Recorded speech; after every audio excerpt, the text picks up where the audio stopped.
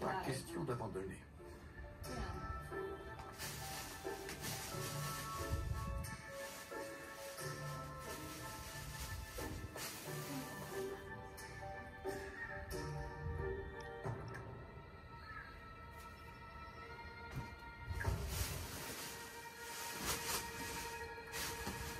Le malheur des uns fait le bonheur des autres.